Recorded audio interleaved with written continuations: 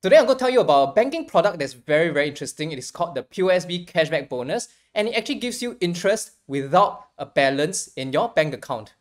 In fact, you can get as much as 70 to $100 each month without much fuss. So be sure to watch to the end of this video because I will also provide you on how to achieve this and easy ways you can reach this amount. The POSB Cashback Bonus is actually a bank program that I wrote about more than three years ago when I first started my blog and somehow I forgot all about it even though I've been using it for the longest time. And I think it's time for me to share it with my readers and viewers on my website and YouTube channel. The POSB cashback bonus is very compelling because it allows you to earn cashback without having a balance in your bank account and therefore you free up your bank savings to be placed in, into another account like the UOB one for high interest while you achieve the requirements of your POSB cashback to get extra money each month. The POSB cashback bonus requires you to meet at least three of the five requirements that is set out, and they are salary crediting, spend, mortgage, investments, as well as insurance. Now, some of these categories are easier to meet than others, and I will highlight them through the course of this video. Drop me a like, and in return, I'll show you a cute cat for real. The most straightforward of all these requirements, I would say, is mortgage requirement and you either have a mortgage with DBS and therefore meet this very easily, or you don't have a mortgage and just ignore this requirement altogether. Now, my mortgage used to be with DBS, so I frequently maxed out the mortgage requirement getting $30 from this category alone by doing nothing. Now, if you don't have a DBS mortgage, does it make sense to come over to DBS just for the $30? Not really, but if the mortgage rates are comparable to other bank accounts, then yes, I would say POSB cashbacks bonus, uh, $30 each month may actually tip the scale for you to get a DBS mortgage rather than one with another bank. But aside from that, I think mortgage again very straightforward. You either have it or don't. So let's move on to the other categories. The next very straightforward category would be the insurance requirement, and it is straightforward because I would say skip this because it doesn't matter if you have an insurance policy with DBS or Manulife, which it requires. It needs to be bought after you start your POSB cashback bonus account. And I think there's no point in trying to achieve this category because you have to buy an insurance product and you may not even need the insurance product. So why even bother just for about $30 per month? And you need to buy $1,000 of premium to get $30 a month. So uh, just skip this requirement unless you really need one of the policies that they are selling you, which I highly doubt. That leaves us with the three main categories I think we should look at, which is salary, credit card spend, as well as investments. Uh, and these three requirements are the easiest to meet for $70 of cashback each month. And if you have a DBS mortgage, then it's additional 30, making it $100 of cashback each month. Now, if you look at salary, again, this is pretty straightforward. And all you need to do is to credit your job's salary each month to this account and you will get 0.3% on salary credited, provided you reach at least $2,500 credited each month. The cashback for the salary component maxes out at $20 each month, meaning to say you must credit at least $6,667 of salary in order to max out the cashback and get your $20 every month. Now, let's say you already have salary being credited to one of your other bank accounts and you want to still get the cashback from here. Is there an easy way to fulfill the salary crediting requirement here? Yes, but more on that later. Webull is having this excellent promo where you fund any amount, any amount at all, and you walk away with buy free shares. All you have to do is sign up with my link put in any amount that you want and hold it for 30 days. Thereafter, you can get 5 free shares for you to keep or sell and they are worth at least US $10 each. On top of that, there's a weekly draw of $888 worth of Tesla shares to walk away and you may even win the grand prize of a Tesla Model 3 car. So thanks for using my link and thanks to Webull for sponsoring my YouTube channel.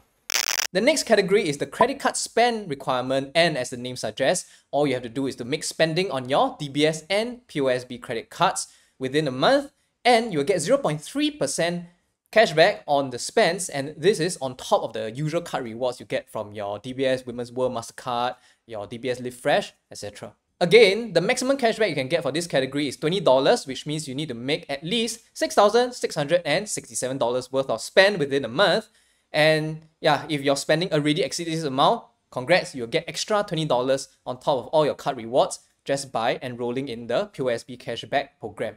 Now, if you don't actually have this much spend a month, is there an easy way to meet the spend? Again, yes there is, but more on that later.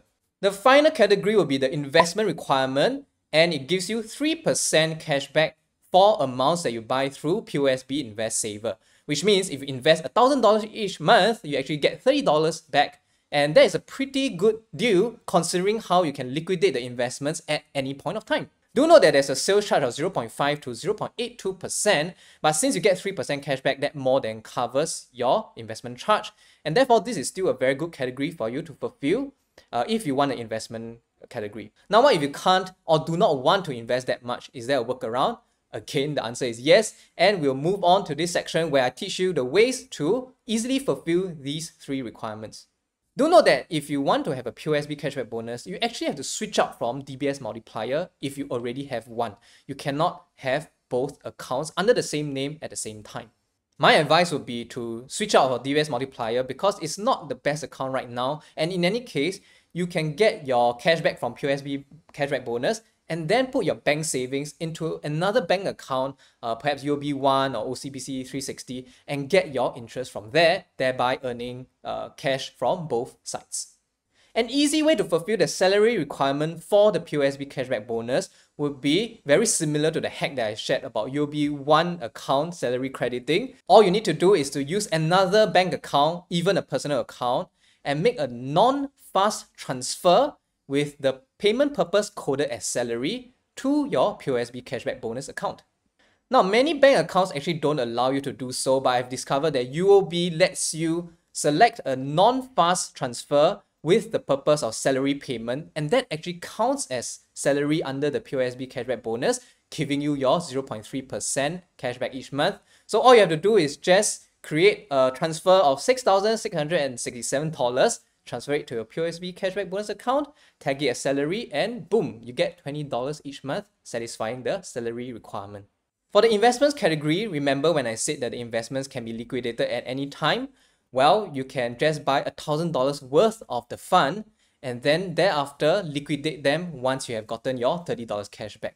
Now you do pay a little sales charge, uh, 0.5% for the ABF bond fund, but you get 3% cash back, so you still earn around $25 doing this little trick.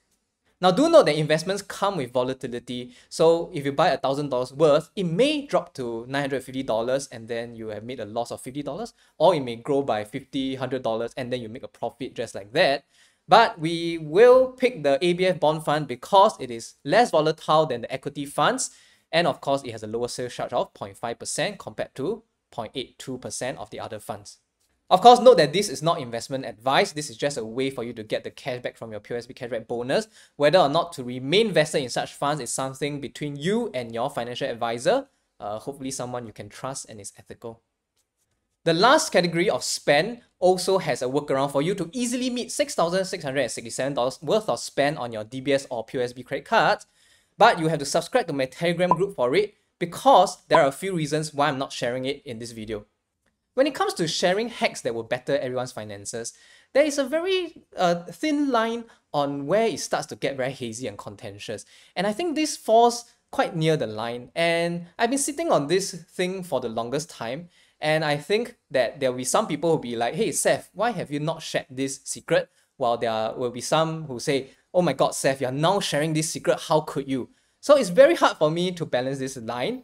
And the way I see it is that I would typically keep quiet about such things because my channel and my website is more about sharing tips, good practices, avoiding bad products like ILPs, and other things that most people can benefit from. Hacks like this, on the other hand, benefit a very small number of people, which I'm also quite okay with. So I will quietly reap the rewards and I know that some other people have been doing it for the longest time and they've been quietly doing it. The reason why things have to be kept quiet is because if the bank actually knows about this secret, then yeah, it's gone for everybody and yeah, game over. So most people who practice these hacks will do it on the down low and do it quietly so that they can continue to reap the benefits. However, word on the street is that there are people selling this secret for money and I think it's a matter of time before more and more people get to know it and the whole loophole will be closed anyway. So it leaves me with a very interesting conundrum.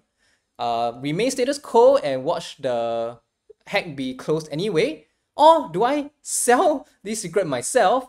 Or three, uh, review it so that more people can enjoy it before it eventually goes away. Option one is not an option because the loophole will be closed and then I don't benefit from it. My readers and viewers don't benefit from it. So uh, there's no point in me staying quiet anymore. Number two, I don't really believe in selling things like that to people for money. I feel that uh, it is not my hack that I created. In fact, I learned it a couple of years ago in my own channel. So that's a benefit of subscribing my channel. And uh, yeah, so I don't feel comfortable selling something that is that's not mine. And three would be to review it on my video and Telegram group as I'm doing right now, save for one part of the secret. So what do you think I should do? Should I just reveal it for free and everybody gets the benefit for as long as it lasts? Or just keep quiet and wait for the game to be closed anyway? Or maybe I should sell a course such that I can earn money by selling you this secret which will eventually close? Well, drop me a comment and let me know. And subscribe to my Telegram group because a decision will be made over the next few days. And yeah, I will uh, announce on my Telegram channel what is the last hack, if any. And yeah, see you there.